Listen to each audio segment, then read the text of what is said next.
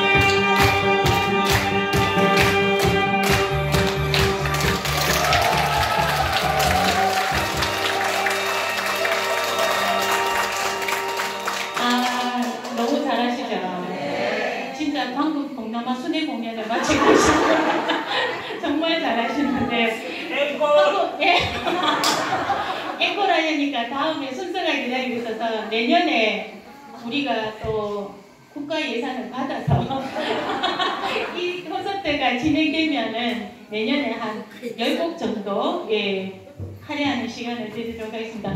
수고하신 예, 우리